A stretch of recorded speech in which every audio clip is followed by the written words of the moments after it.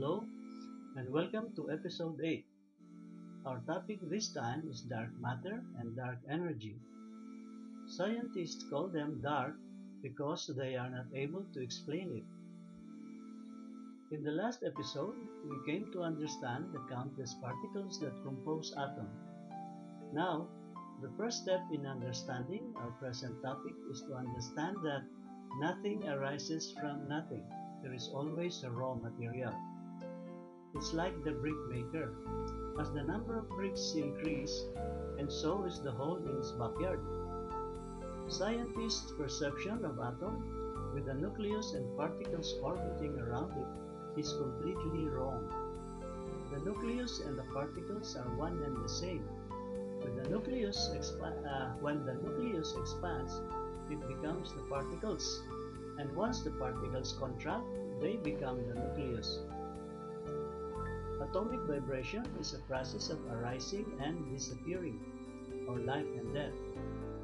Once the particles of atom expands, the process of dying starts and when it contracts, it starts to gain energy for its next birth. Uh, size is a matter of number, thus the law governing atom applies to large bodies such as planets, galaxies, universes, including objects such as humans. The life cycle of a body is dictated by size. Small atom vibrates indiscernibly short while large universe has immeasurable lifespan. The basic element elements given off by uh, the dying matter are the, are the dark matter that becomes raw material for the next arising matter to arise. Matter arise and disappear, but not dark matter. They are recycled. Although it uses the same basic elements when it contracts, and forms into a new atom, it is no longer the same atom because its structure is not the same as the one that preceded it. Please note very well that dark matter exists not only in outer space because they are here on Earth also. Otherwise, nothing would arise on Earth. For example, the morning following thunderstorm, mushroom grows.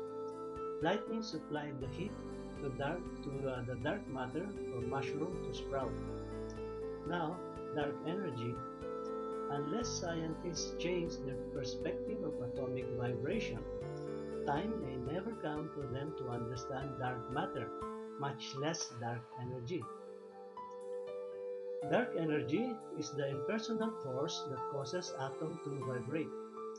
Understanding atomic vibration is hampered by size uh, both in space and time. The vibration of atom is made imperceptible by its smallness. The size of the universe, on the other hand, creates an illusion of permanence. As explained in the preceding episodes, atom vibrates to strike equilibrium, that is to balance density and pressure, which never happens within a body. Please note very well that the universe is a single body just as the atom is.